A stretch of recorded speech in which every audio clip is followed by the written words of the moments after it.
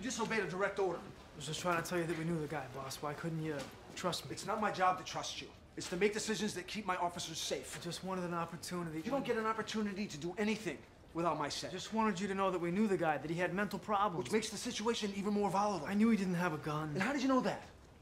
Was it your spidey sense? I knew I could talk him down. You think because your last name is Reagan that you can disobey orders and do whatever it is you I want? I think I can do whatever I want to do because you're clearly a jackass. Oh, wait, Jamie, hey, listen. Hey, he didn't mean that. Tensions were high. We know, Billy. Now you have your girlfriend sticking up for you? What did you just say? Eddie. You really are a jackass. Consider yourselves suspended, pending charges for insubordination. Before you sign off, you're gonna turn in your shields, your guns, and your ID badges.